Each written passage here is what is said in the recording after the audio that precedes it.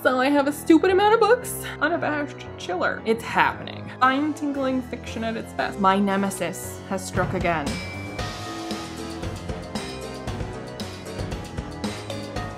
So as you may or may not know, Octobers are a time for much reading for me because I save all my October spooky reads for October. So I have a stupid amount of books. The books I have in front of me here are not even all the books that are on my TBR because I have a couple that I don't have yet. Either because they're on their way or because they're about to be published and aren't quite yet. So, um, yeah. I don't think it's the amount, I think last year I had like 30 books on my TBR. I think this year it's like, I don't know how many it is. 24? It's doable, right? Totally. Oh god. Okay, so before I forget them, we're gonna do the ones that I don't have yet. So the ones I don't have yet, um, the first one is uh, not published yet. It's like a right about to be, that is Dowry of Blood. I mean, technically it was published, self-published, but the like traditional publishing of it, which is what I've pre-ordered, comes out like next Tuesday, I want to say, like the first Tuesday of October. So that, and then I ordered from Europe Vita Nostra because everyone, not everyone obviously, but I had a bunch of people comment on my Dark Academia video saying sounds like you should read Vita Nostra. And I was like, all right, all y'all think this. I mean, how bad could it be? And then kind of also related to the Dark Academia video, I really loved Special Topics in Calamity Physics by Marisha Pessl. So her, uh, one of her other books, Night Film, um, I've decided now I want to read, and this is the perfect time to do it. So Night Film is en route to me. Okay, but the rest of the books I have in physical form. Oh, also very quickly, you will expect to see the wolf on this but it will not be here because my nemesis has struck again. That's right, Alan from the Library of Alexandria has decided to sabotage this read along by joining it. And for his sake, we have changed the schedule to be November, December, January because we are accommodating. It's okay. Alex and I are still reading a book together this month. Never fear. So, uh, without further ado, here are the rest of the books that I'm going to attempt to get through in October. First up, uh, this was on my TBR last year, didn't get around to it. This year, I'm gonna do it. That's Carrie by Stephen King. It's super short. Um, I also put this on my TBR before I knew that I would have another Stephen King book on my TBR. That wasn't up to me, but it is. It's super short. It's such a classic. I just, you know, this one is. It, it should be doable, right? It's it's so short. It's so short. Uh, next up, Mara and I are continuing. We've decided to just get through the rest of the Rainwild Chronicles through the end of the year. So last month we read the first Rainwild Chronicles book. We have three more. There's three more months left in the year, so we're just doing it. So next up is Dragon Haven. And when we finish the Rainwild Chronicles in January, we hope to do another live to kind of check in on our Realm of the Elderlings journey. Um, but I'm excited. I did really like the first one, as you'll hear when I do my wrap up. So far, so good. So I'm excited to continue on with Dragon Haven. Next up, I have kind of a three in one. that is Frankenstein by Mary Shelley. I have, I'm holding two books here and it's really kind of three. Um, so my patrons and I voted on our next buddy read and so they've chosen for this month and next month to read Frankenstein and then next month, The Dark Descent of Elizabeth Frankenstein. And I've read Frankenstein a couple times before, so uh, I'm rereading it now, but I decided, because I don't have anything else to do this month, to read the so if you don't know there's a few different versions of frankenstein so there's the one that most people read nowadays which is the the edited version that mary shelley herself updated a few years after the publication of frankenstein in response to even back then readers had problems with books and then they went back and changed them. So, in response to some people's problems, she changed the story and then republished it and that's the version most people read. So I'm going to be reading the the updated version that everyone knows and is the one that most people reference and most things are based on uh, again, but also I've decided I found this copy, this edition that is not just the original Frankenstein as it was originally published by Mary Shelley. It is also the original original Frankenstein before it was published, before Percy Shelley, her husband, made changes to it. So in this edition, the you can kind of see where the pages get darker. The first one, well, I'll figure it out when I read it, but one of these versions is basically the way Mary Shelley originally wrote it, and the other one is the updated version that was the first way that it was originally published, but instead of just having it printed um, straight up. It's it's printed where you can see which parts Percy Shelley added were suggested to be changed. So it is that original version, but where you can see what he did to change it. So I'm gonna try to do all three and compare and contrast and just live my best Frankenstein loving life this month. Uh, next up, I have The Birds by Daphne du Maurier. Um, this copy, you can only get it as a, a bind up with uh, that and other stories. I aim only to read The Birds. I, maybe I'll read the others too, but that's what's on my TBR officially is just The Birds because I've never read it and I would like to see the movie around this time of year. And I've been reading quite a bit of du Maurier the last couple years, so I thought I'd do The Birds. This month because it's also quite short. Next up is the other Stephen King book that I have on my TBR, which is not my fault. My patrons have voted on this to be the book that I read and vlog for them, and that is Salem's Lot by Stephen King, which is super long. I have had a habit, kind of a bad habit, in the last few months of kind of when I vlog books for my patrons, kind of doing it all in one day, where I just like marathon read the book and do a like one day vlog of reading it. I don't think I can really do that with Salem's Lot, but we shall see. It'll, it'll be an experience. Unabashed chiller. Spine tingling fiction at its best. I mean, tis the season. Uh, next is a nice, nice short book, and it's my first T. Kingfisher book, and that is What Moves the Dead. Mainly because I've been seeing T. Kingfisher around a lot, and all of the books by T. Kingfisher intrigue me. This cover the most intrigues me, and this cover the most speaks to me of like fall October spookiness of darkness. And it's I didn't even know how short it was when I picked it, so I'm very glad that I picked a short one. I don't I think all Kingfisher's books are I don't think any of them are toned, but anyway, I'm this is a very pretty little book. The end pages, the naked cover. I'm quite stoked about this. I really hope I like it because I would like to keep this pretty little book. Next up is a continuation on from last year. Last year I started the Peculiar Children series. I didn't love it, but I have a bunch of them, so I kind of want to keep going. I didn't hate it. It was it's the right time of year for it. They're cool.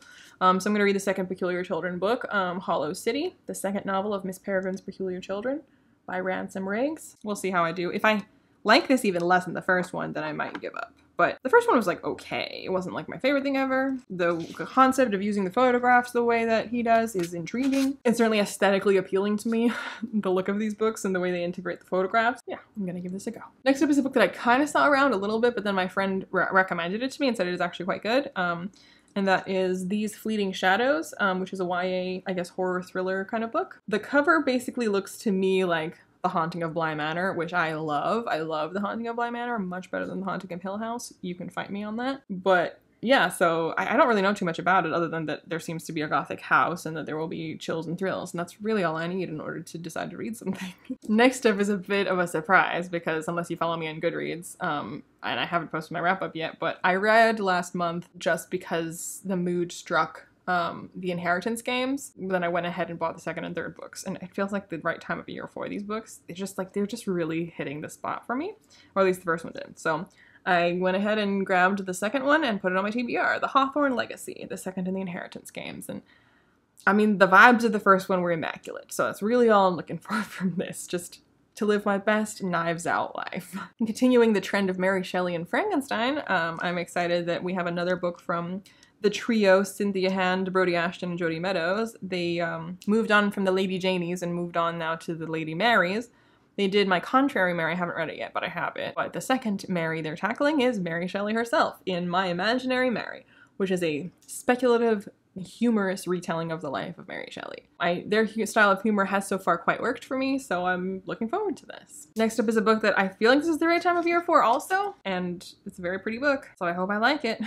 That is Gallant by V.E. Schwab. Uh, she's been quite missed for me lately, but hopefully I like this. I have also the OwlCrate edition of it. It's still wrapped in its plastic, which is a very cool edition of it. So I, I hope I like it. But if I don't, bye-bye. I managed to forget a book in my stack. So I just went and grabbed it. Um, so whatever I said my book count total was, it's one more than that. That is Confessor by Terry Goodkind, because we were doing the Sword of Truth read-along. And this is next. I've never read this. We are now into books that I've never read before. Last month's was the first one that I'd never read before.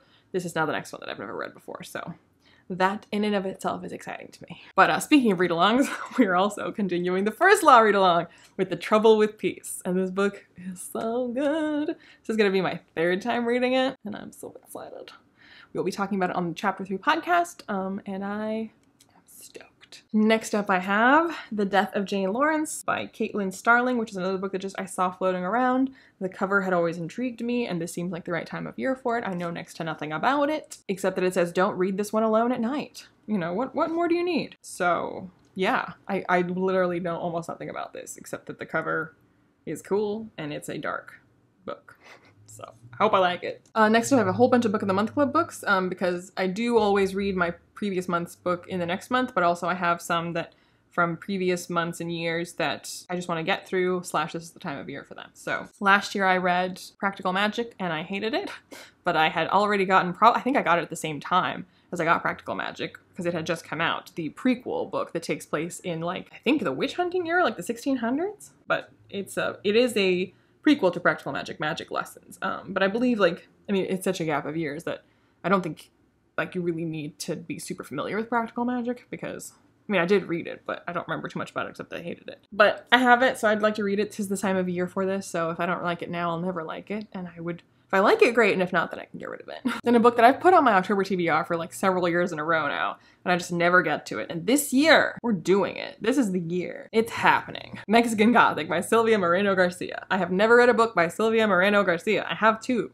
I have this one, and also from Book of the Month, I have Gods of Jade and Shadow. I keep putting that on summer TBRs and not doing it. Maybe next summer will be the year, depending on how this goes. but I'm excited at the very least to finally freaking read this book. I feel like it's haunting me. Uh, next up is the not just a Book of the Month club book. I mean, it is one, but um, the Blades and Bodice Rippers book club pick, because yes, that's right, we're back. It's the Halloween show. We are dressing up for it and we're reading a spooky book for it, and we will be gathering over on Bethany's channel to talk about The Hacienda by Isabel Cañas. And I don't know too much about this except that I believe it's kind of gothic but also with like a Hispanic flair. But that's literally all I know about it, and then that, that it's what Bethany picked. So, so I got it, and I'm gonna read it. And then uh, the last book of the month club book is it. Uh, it was just my pick from last month, although it does seem like appropriate for the season. And that is Other Birds by Sarah Addison Allen. Now, why did I think it was appropriate for the season? blah, blah, blah. I don't know. I remember thinking that it would be. Delightful and atmospheric, magical realism, blah blah blah. Like it doesn't seem like super dark or anything, but it, it, it seems I don't know, magical realism seems like a fall type of thing, doesn't it? Maybe not. I don't know. I have to read it because those are my rules. So I'm reading it. Next is a book that um, I has intrigued me for a while, but my friend actually sent it to me because she was like, no, for real, like you should read this. And I was like, I'll add it to my October TBR.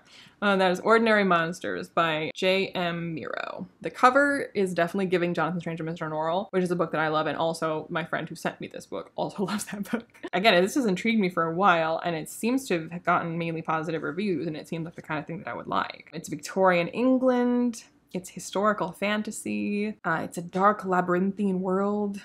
Um, it just it sounds like my cup of tea. It is extremely long though, which is unfortunate given my TBR, but I am looking forward to it nonetheless. Next up is a book that I am reading with Alex because we agreed to this a while ago. Jimmy has somehow gotten in his way out of this. I guess he's just gonna miss out on the absolute joy that Alex and I will have in reading Empire of the Vampire by Jay Kristoff. Oh boy. this book is also very, very long, but but it does have lots of pictures in it. So, you know, it's a, it's a picture book. That's why it's so long. It's not even, it's not even that much text, right? Oh, this book is massive. I do, I genuinely hope I like this. I just think there's a very low chance that I do. We'll find out, and Alex and I will chat about it, and we will all find out together how me and Alex felt about this edge lord of a book. Two more to go. Uh, next up is a book that it's actually inspired entirely by Mara. Uh, she and I were on a World Hoppers video together where she mentioned this book. And I was like, that sounds amazing. Uh, and it is Horrorstor by Grady Hendrix. I'd never heard of this. But if you don't know this about me, I love putting furniture together, like genuinely. I very much enjoy that activity. And this is, you know, a sort of IKEA inspired, somewhat, I guess, quirky and humorous horror book where it is multimedia. That's why the book is kind of shaped like this. And there's like furniture assembly instructions, I'm told, that like get increasingly more bizarre and more sinister and it just sounds like absolutely my kind of thing. I don't know how good it'll be, but the very least it'll be a unique experience. So I'm excited about this. And last but not least, I have the Shelf Space book club because I've I will be co-hosting Shelf Space in October with Evie and Johanna, and we will be reading uh, The Child Thief by Brom. I've had this on my shelf for a very long time. I actually have a couple copies of it because people keep giving it to me. I had three there for a second because it's it's Peter Pan, but like dark. So it's you know it sounds basically like my perfect thing, right? Because I love dark stuff and I love Peter Pan, and Peter Pan is already pretty kind of a, a kind of dark and sinister figure. But I mean, basically, this is Hot Topic Peter Pan. but I've heard always excellent things about this and just Brom in general. I've never read anything by Brom before. I've always wanted to. His the books always look incredible. Uh, and I think it's appropriate that The Child Thief should be my first. So I am very much looking forward to this and to discussing it on Shelf Space. And those are all the books that I will be attempting to get through in October. Let me know in the comments down below your thoughts and feelings about the books that I will be reading if you've read them, if you want to read them, if you've never read them, if you have heard they're awful, if you would like to make me prioritize some of them, whatever you want to let me know. I post videos on Saturdays. Other random times, well, definitely Saturdays, so like and subscribe to my Patreon if you feel so inclined, and I'll see you when I see you. Bye.